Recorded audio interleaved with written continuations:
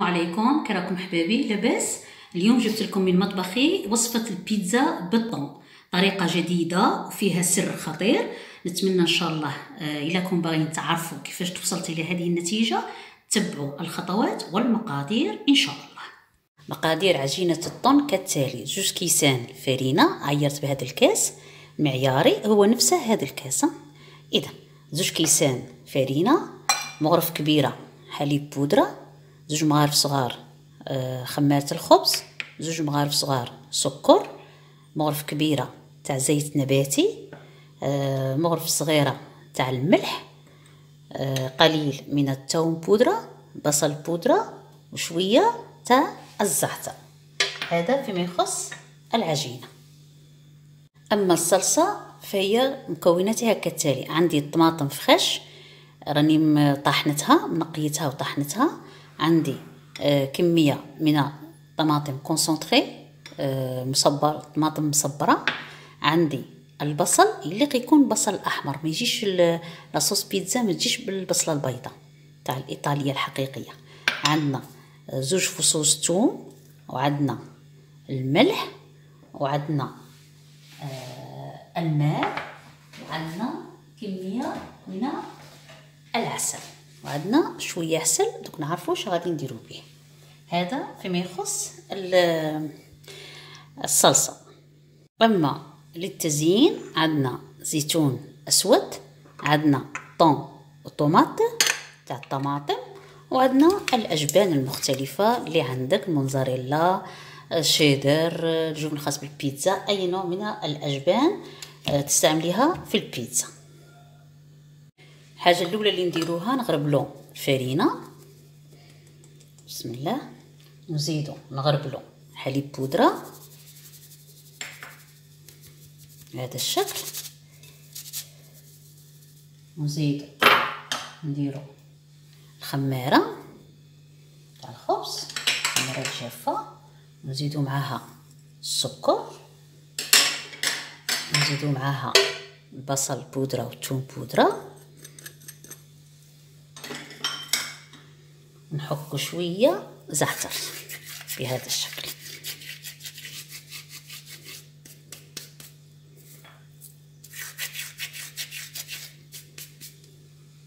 نخلطو المواد الجافة. ونديرو حفرة في الوسط. نديرو فيها شوية ماء. ونزيدو معاها الزيت اللي قلنا عليه.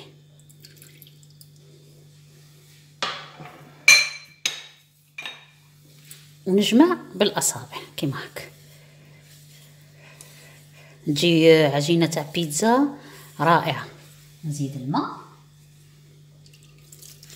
تكون عجينة شوية خفيفة. الملح ما درتهش. كيما هاك. نخلي هاد العجينة تريح شوية واحد سبع دقائق نعاودو نولو إن شاء الله.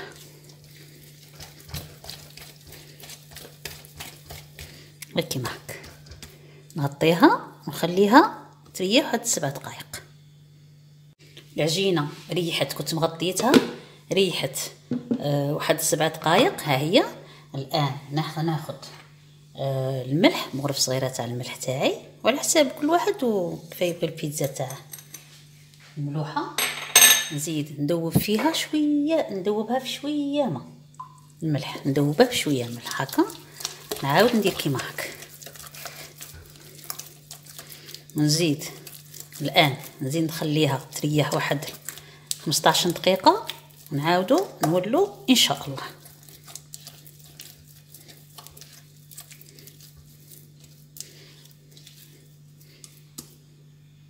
فاتت عشر دقائق نعاود نقلع. نعاود نفس العملية. ندير هاك نطيح لها نطيح لها الخمور تاعها. نفس العملية. لحد الآن راني في زوج خطرات. الأولى ديك ما نهضروش عليها الزوجة وهذه الثالثة معناتها العجين بديت نطيحه زوج خطرات. كي نشوفه يلصق هكا نشمخ يدي غير خفيف. كيما هاك. نزيد نخليه يطلع. ربع ساعة. شوفوا واش نديرو بعد ذلك. كيما هاك. نزيد نخليه أه واحد ربع ساعة حتى من عشرة حتى ربع ساعة بهذا الشكل. ونغطيه. ونخليه مدة معينة. فاتت عشر دقايق. نعاود. طيح لها الخمور كيما هاك ندير غير كيما هاك الآن هكا. الآن نجيب اناء آخر. نرشه شوية فرينة. ونجيب هاد الفري هاد العجينة. العجينة. اللي خدمناها الآن بهذا الشكل ونحطها ونزيد نرش عليها من فوق شوية تاع فرينه ونخليها تخمر. هذه عجينة البيتزا. ندير لها كيما هاك ونخليها تخمر. حتى تدوبلا في ال volume تاعها. تدوبلا الحجم تاع العجين نغطيها ونلفها غاية. كما هاك. ونخليها في مكان دافئ. كي تدوبلا في ال volume نعاود نولو. قلنا حطيت طنجرة ودرت فيها كمية من الزيت تكون شوية كمية معتبرة. ونحط فيها البصل. نزيد شوية ملح. ونخلي البصل هذا على النار حتى يولي شوية شفاف. هذه هي الطريقة الصحيحة تاع لاصوص بيتزا الإيطالية. خليها تقلى كيما هاك حتى تولي شوية transparente وتطلق la couleur تاعها في الزيت. البصل شو ولا آه، شفاف la couleur تاعه خرجت راحت في الزيت. الآن نزيد لها طماطم. concentrée هكا نزيد معاهم الثوم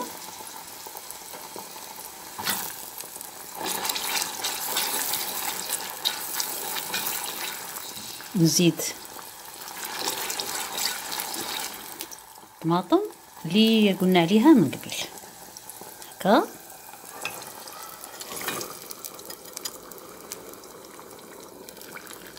نخليها تقلى شوية ونزيد الزعتر والفلفل الاسود الخليط راه يتجمر نزيد له فلفل الاسود ونزيد له شوية زعتر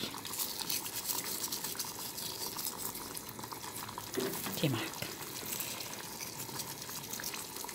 ونخلي الخليط فوق النار حتى يعقد نمروا المرحلة الموالية. الخليط تاع لاصوص بيتزا آه، طاب كما راكم تشوفوا. الآن إن شاء الله غادي نميكسيه. ميكسيه باش يولي ميكسيت لاصوص طوماط. ها هي ولات كاع ليس. الآن الخطوة الأساسية الثانية انني نجيب إناء ونحط فيه مصفات ونصفي هاد لاصوص. نصفيها باش نتحصل على لاصوص طوماط الأصلية الخاصة بال بالبيتزا. شاو الحاجة اللي آه، تخليها تجي شابة؟ كاين زوج تاع لي كاين الريحان إلا كنضيفو الريحان الحبق أنا ما غاديش نضيفه ما عنديش. وكاين استيوس واحد آخر دوك نوريه لكم. نكمل نصفي هاد لاصوص باش تجيني آه، فقط السائل. ونعود. راني نصفي في في لاصوص طوماط خاصة بالبيتزا. شو خرج منها هذه تاع سميني تاع البصل وتاع. نزيد شوية ما باش ننزل كاع لو غو هذاك ونروحو كيما هاك نتحصلو على صوص طوماط ليس ما فيهاش أي شوائب. نروحو دروك للمرحلة الأخيرة من تحضير لاصوص بيتزا المميزة. كيما هاك. غايه وسوف نعود. كي صفيت لاصوص شوفوا النتيجة كي دايرة. اون صوص سائلة ملساء. الآن نروحو ل لاستيوس اللي قلت لكم عليه باستعمال العسل. شوفوا واش غادي نديرو بالعسل.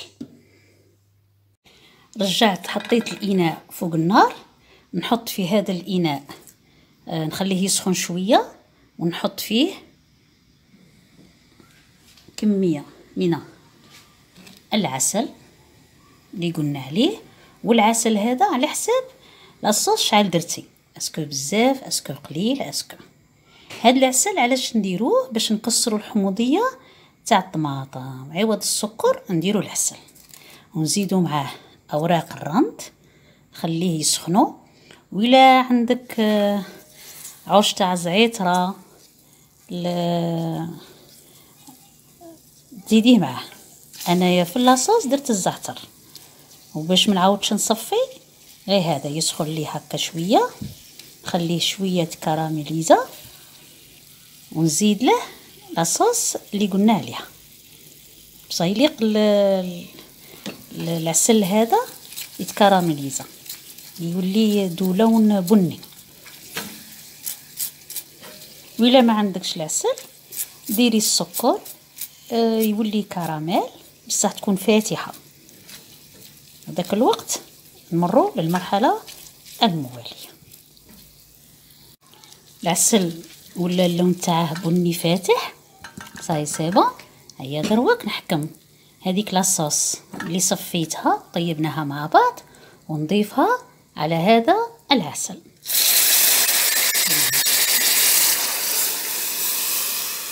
نخليها آه تغلي. بعد ذلك نطفي عليها ونكون بهذا وصلنا إلى تحضير لاصوص تاع البيتزا. لاصوص تاع البيتزا راهي تغلي. الرند آه طلق لو تاعه في لاصوص وعقدت. إن شاء الله ذقتها انغو رهيب. جربوها ما غاديش كاع تندم سي فري صوص ما فيهاش هذاك لا بول تاع البصل وتاع. والو. كيما يديروها في المطاعم الكبرى. الآن نطفي على لاصوص شخص هاد لاصوص خاصها قلت لكم آه شوية ريحان آه ولا ما كانش الزعتر والرند آه يديروا l'affaire. نخليها تبرد. نروحوا إن شاء الله la pâte ونكملوا هذه البيتزا الرائعة. فاتت ساعة من ترك العجينة تتخمر. تحصلنا على هذه النتيجة. ها هي تخمرت العجين. الآن نجي نهود هاد الخمارة هاد عفوا هاد العجينة. بهذا الشكل. ونشكل ندير شوية فرينة. بهذا الشكل.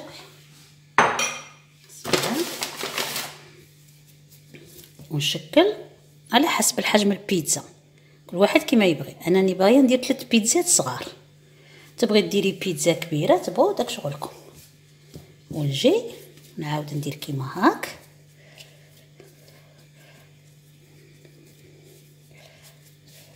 هاك ونخليها تعاود تريح لمدة من خمسطاش حتى لعشرين دقيقة. كيما هاك. نفس العملية. نجمع هاد الثانية. تبغوا تجمعوها كيما هاك. بيدكم كيما هاك. تبغوا ديروا لها هاد الطريقة. كيما بغيتو.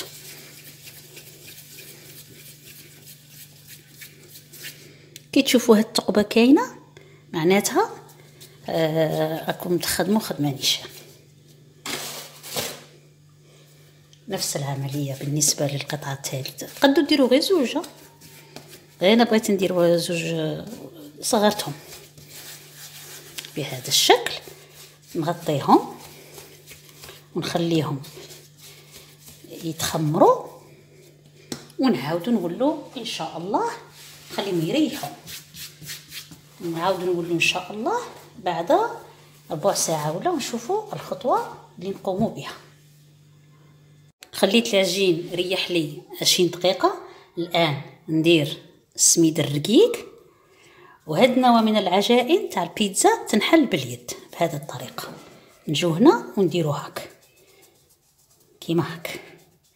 نديرو هاد هاد الحافة. هاد الحافة نديروها ونقعدو نرقو. حنا ماناش professionnels في البيتزا بصح حنا للمبتدئين بهذا الشكل. وفي نفس الوقت عندنا الحافة أه تكون مرتفعة. نرقو العجينة بهذا الشكل. محترفين يديروها على حواف الطاوله طاوله العمل. حنايا تاع في الدار نخدموها بهذا الشكل. نرققها غاية ونروحو ونشوفو بعد ذلك. حليت العجين غير هكا بيدي ما ديروش كاع الرولو غير بيدكم. كيما هاك.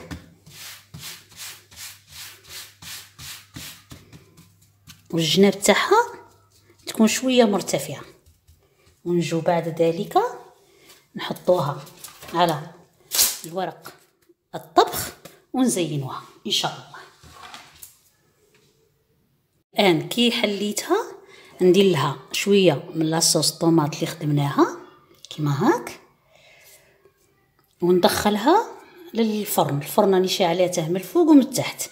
إلى الفرن تاعكم ما يشعلش من الفوق ومن التحت شعلوا غير من التحت نطيبوها. غير واحد الدقيقتين نعاودو نخرجوها ونكملو. الخطوة الموالية إن شاء الله. دروك كيما هاك ندخلها إلى الفرن. دخلتها إلى الفرن غير واحد الدقيقة. شوفوا كي ولات الآن دروك نزيد لها الطون ولا ديروا لها الخضر ولا كما بغيتو. لكم الحرية. نزيد لها الطون كيما هاك. ونزيد لها الزيتون الأسود بهذا الشكل ونزيد لها لي فروماج اللي راكي آه دايرتهم.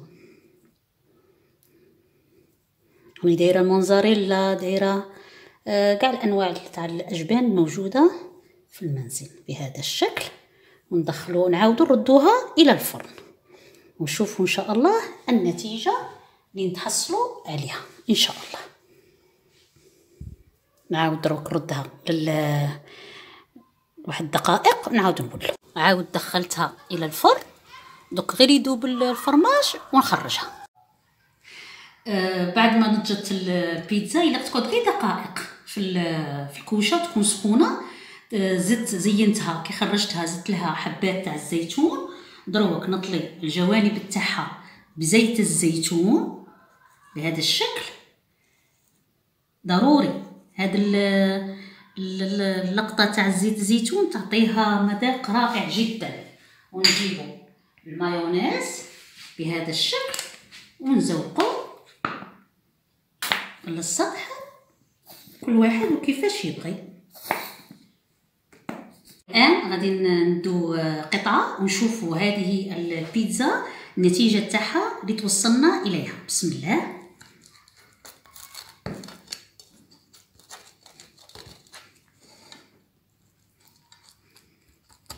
اذا شوفوا هذه النتيجة الرائعة نتيجة رائعة جدا. والمذاق ما نقول لكمش عليه نتمنى إن شاء الله تجربوها. تنال إعجاب العائلة.